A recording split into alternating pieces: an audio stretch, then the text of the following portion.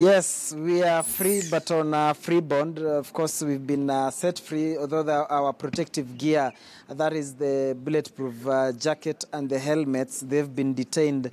And we, with us, we have uh, this free bond, where, and we've been required to appear before the Kibera Magistrate Court on uh, 16th at 8 in the morning. Of course, we are being told that uh, we were in possession of a helmet and body armor without license. And just to paint a picture, if you can be able to see where that uh, police land cruiser is, that is the exact spot where we were arrested uh, early in the morning at around uh, 10 in the morning thereabout.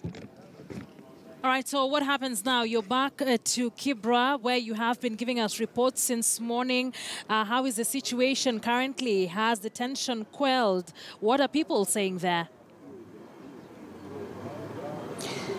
Uh, we've not been able to go beyond this point, but after we immediately we came here after being set free shortly after midday, at least